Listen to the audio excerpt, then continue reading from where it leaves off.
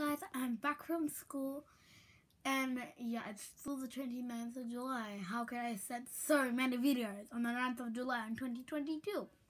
Yeah, I know, it's crazy. I mean, I just want to make a lot of videos on my first day having a channel, like... Sorry, my video... Not video. My voice is very crackly. So sorry, yeah, and I'm finally talking louder. I was a bit shy earlier. No offense.